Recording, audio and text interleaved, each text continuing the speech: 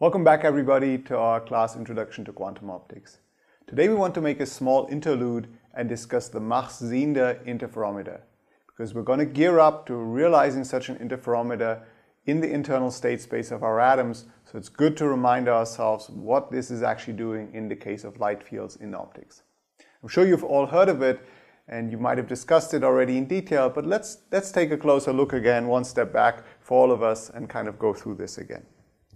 So this is the classical Mach-Zehnder setup that people consider. You have light coming in here. There's a 50-50 beam splitter, which is kind of a non-polarizing beam splitter, which splits the light into two paths. One that's propagating along this direction and one that's propagating along this direction. And then there are two mirrors here, for example. The light comes along here, comes again onto a beam splitter, 50-50 beam splitter, where part of the light is transmitted part of the light is reflected, and in this case, part of the light reflected and part of the light transmitted. And now the question is, what are we going to see on detectors that are placed here that measure the intensity of the light coming out here or the intensity of the light coming out here? Now, a naive guess that you might have is that you're just going to see half of the light coming out here and half of the light coming out here because we're dividing the light into half the intensity in this direction, half the intensity in this direction.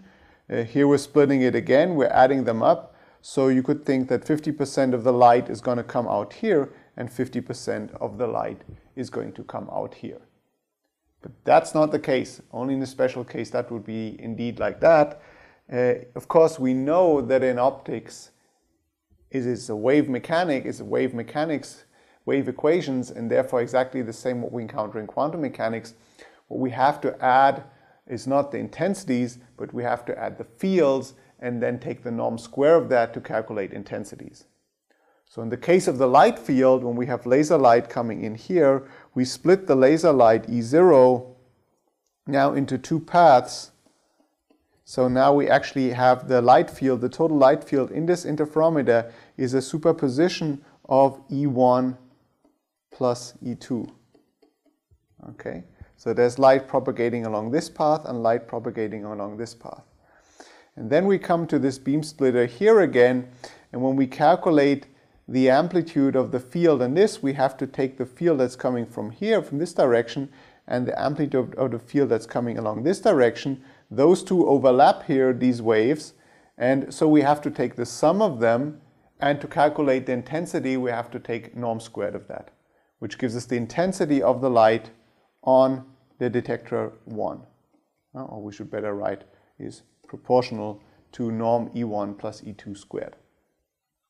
Now, the other case that you could have on detector 2 here, uh, what you're going to measure is the light that's kind of transmitted in this direction and the light propagating along path 2 being reflected here at this beam splitter. And now there's a subtle minus sign that comes into play in this case that we're going to discuss in more detail when we discuss the beam splitter. That's really important. So in this case, actually, the field that we have on detector 2 is E1 minus E2. And to calculate the intensity, we just have to take norm squared of that. So what happens now if we introduce a phase shift between the two paths? So everything was the same before, but now let's discuss a situation where in path 2 we introduce, for example, a thin glass plate which introduces a phase shift delta phi. So let's imagine this is a glass plate of thickness d with a refractive index n. That's going to lead to a phase shift of the light propagating along this path relative to the light field propagating along this path. So think a moment for yourself. How big is this phase shift actually?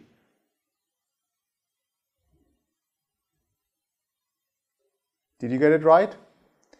Okay, so in that case, we've introduced an additional phase shift for the light field propagating along path 2, and that we have to take into account here. So we now have this additional phase shift showing up in front of this E2 amplitude here, and in the minus term again also for detector 2. So if we now plot the output intensity that we expect, let's say I1, as a function of this delta phi, what is that going to be? And here's our total light field incoming intensity. Let's say the light field has an incoming intensity I0. So if delta phi is 0, then we're going to have constructive interference of these two waves and all of the light coming out on detector 1. Then as we vary delta phi, we're going to get destructive interference, constructive interference, destructive interference, constructive interference as we vary delta phi. So here's the case delta phi being pi, here's delta phi being 2 pi, here's delta phi being 3 pi. Okay?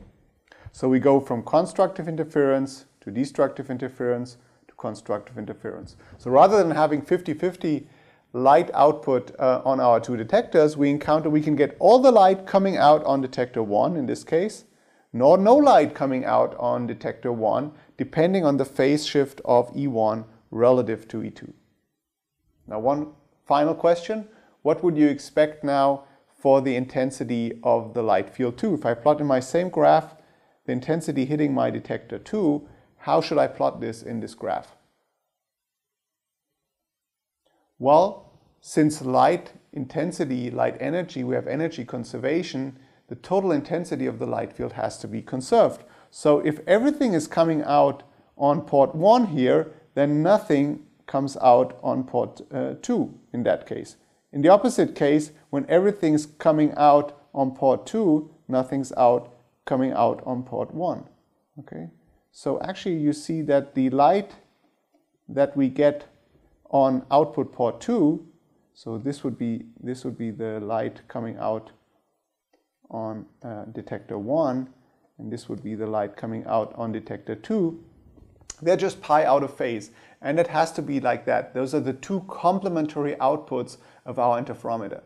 So you see what makes this interferometer is two input ports, two paths 1 and 2 where we have a coherent superposition of the fields propagating along those two arms and we have two output ports to probe the relative phase of those light fields in the interferometer.